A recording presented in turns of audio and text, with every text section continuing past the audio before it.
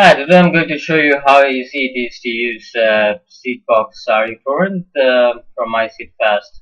So I have this uh, panel open in front of you. It's um, the regular panel which you can open in your web browser. The details are sent in your mail once you register for a plan.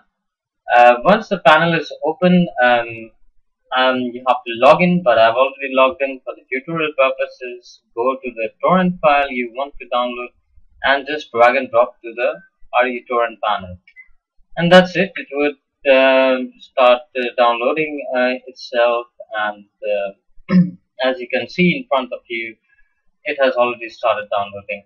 Once the download is complete, you can select the torrent, click on files and double click on the file you want. And it, it would start downloading uh, like here. So that's pretty much it. Thank you for watching the video.